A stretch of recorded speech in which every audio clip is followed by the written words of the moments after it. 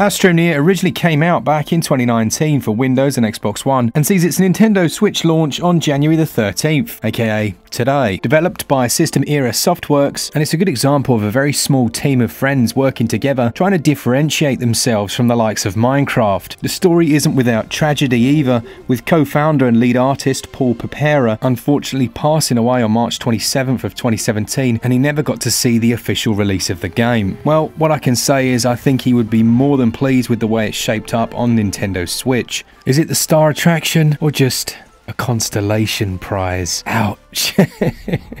Let's find out.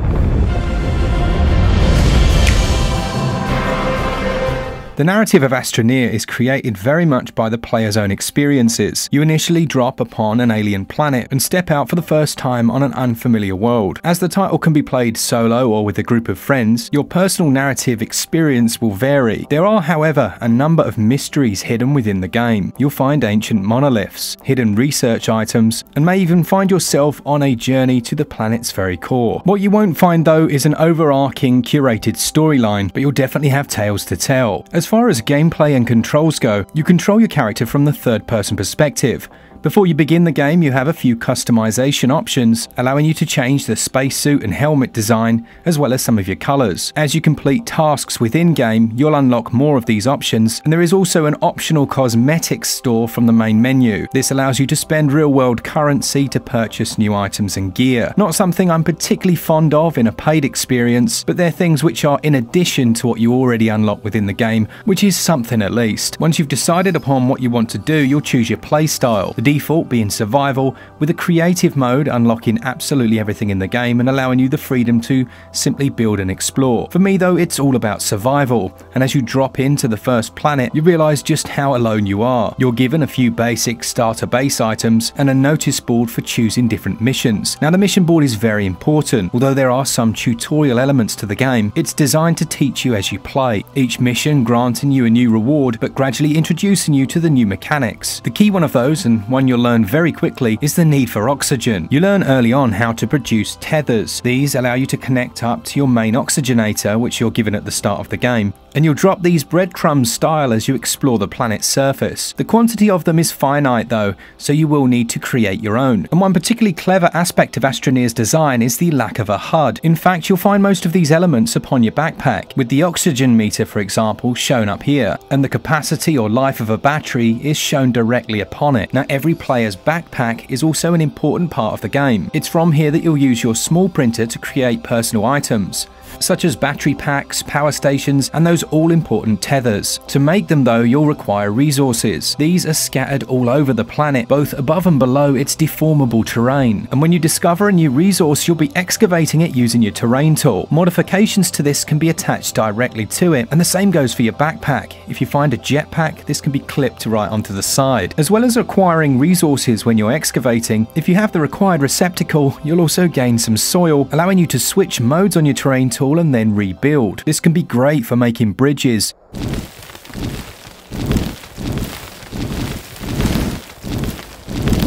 Or for when you accidentally slide down into that bottomless cavern, you're way too far from your oxygen and you're desperate to try and get out again. Unfortunately in this instance, well, I died. Death within Astroneer isn't very punishing at all. You're simply returned to the oxygenator, and once you return to your body, you can then get back all your gear. With such a minimal HUD, you might be wondering how you navigate in this world. Well, there are a number of ways. First and foremost, you have the compass. This will point you in the right direction to your next objective, if indeed you have one, and once you've unlocked beacons and started placing your own, it can be very useful as a quick way of navigating backwards and forwards. Astroneer doesn't just take place on foot, you'll unlock a few different vehicles, all of which you'll need to power, and how you do that will evolve throughout the game. Depending on how lucky you are, you might early on find some form of wind turbine, but just as important as generating energy is storing it, so the creation of small, medium, and large power cells and batteries are of equal importance. As you'd expect, crafting and base building play a large part in the game. Rather than a workbench though, you're creating printers, beginning with small, moving on to medium and large, and these allow you to create more and more complex items. Base building has a modular feel to it, with everything needing to be interconnected. Initially literally tethered together to give things power. As you branch out into the world though, you'll find ways of creating power whilst out and about, and in turn setting up your own outposts. Now, unfortunately, in the pre-release period,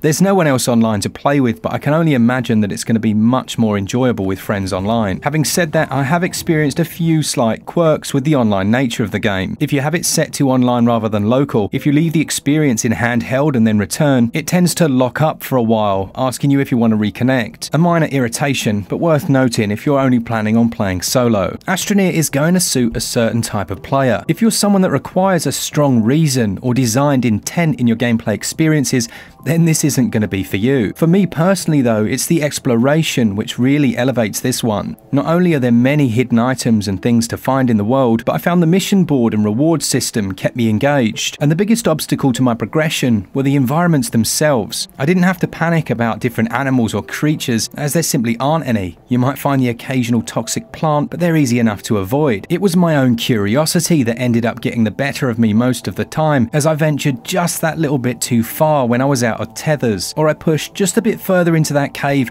and ended up falling down to an area where I couldn't get back and would die of suffocation. I don't see these as negatives. The fact that the game makes you want to explore and that it allows you to build up enough to then move to other planets, it overcomes one of the biggest hurdles of such experiences, and that being purpose. I never felt aimless within Astroneer. As far as controls and movement go, it certainly isn't as precise as using a PC. Holding a trigger and then manually moving the cursor to attach power points or move items in and out of your inventory will never feel as precise on a console, but it helps that there's an element of magnetism to some of the things you have to interact with, making the more fiddly movements much easier. I had no issue with character control and sprinting around was easy enough as well as jumping and using the boosters. The same goes for vehicle controls triggers to accelerate and brake, and then moving with the left stick. Overall, I've had a lovely time revisiting Astroneer. They've added in quite a lot of new gameplay elements, and if you're a new player to the game, I would suggest potentially following a small guide on YouTube. Although you have the pre-drawn tutorial screens, there are still times where that little bit of extra information come in useful. I think it will be even better when we can get some people online. However, it can feel slightly confusing at times, particularly in the earlier stages, and I give gameplay 17 out of 20 controls are about as good as they can be on a console, meaning they're okay but sometimes fiddly. They score 15 out of 20.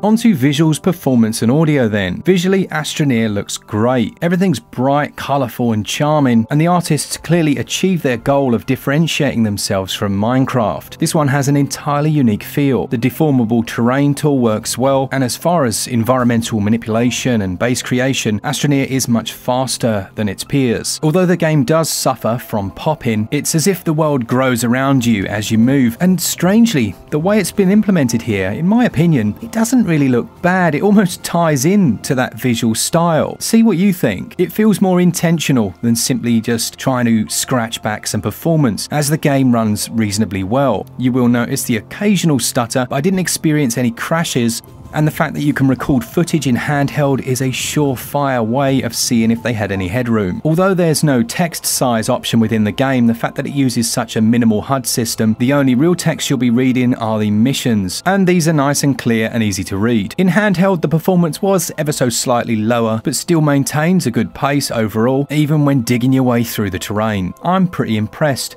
and it looks like the game's running at native resolution, which is even more impressive on Switch. It is Unreal Engine 4, so perhaps they're using some dynamic resolution scaling, but I didn't notice it, I've got to be honest. Now I mentioned in the gameplay segment one small bug I experienced. If you're playing in handheld and then move locations and then restart the game, or go back to it, you might notice this disconnected screen and sometimes you can get stuck for a long time, and then about a minute or so later, suddenly the game would be responsive again. I'm sure it's something they can fix. One area Astroneer has no issues though, are in the audio department.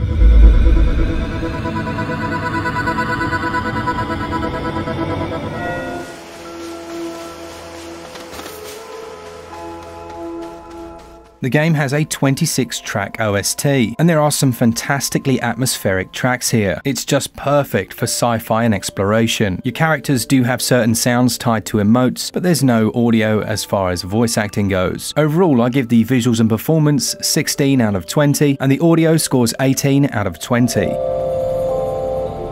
Astroneer is going to set you back £23.74 digitally or £34.99 physically, with the latter releasing on February the 18th of 2020. The game has a really reasonable download size of 1.7 gigs, and it's single player only per console, although you can link up consoles using LAN play or play online with up to four players. Sandbox games are very difficult to put a value on, but I think it's one time where it's fair to compare it to its nearest rival, that being Minecraft, which is about £4 cheaper than Astroneer. Had I been in charge of publishing this, I would have gone for the same price. What that doesn't change though is just how nice of an experience Astroneer provides on the Nintendo Switch. Not only does it look and sound great, there's so much to do here, and it's a better fit, in my opinion, for a slightly older player. There are some more complex systems. The exploration feels a tad more rewarding, and space.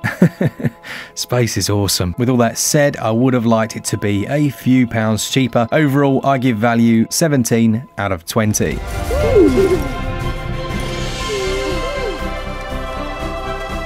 Astroneer is a thoroughly enjoyable space sandbox. It currently has a few quirks that need ironing out, and by its very nature, it requires more of the player in terms of motivating their own experience, but the performance and visual are far better than I thought they would be. If you can find a group of friends to join you for this one, and if you can't, maybe go check out our Discord, there's a lot to discover and do. Astroneer gets a switch up score of 83%. Let me know in the comments if this is one you're interested in, have you been waiting for it, and will you be picking it up? Thanks to all of you that enjoy the channel, especially to our patrons, you guys support us every single month and we really do appreciate it. For all things Switch, all the time, keep it Switch up. Cheers guys, see ya!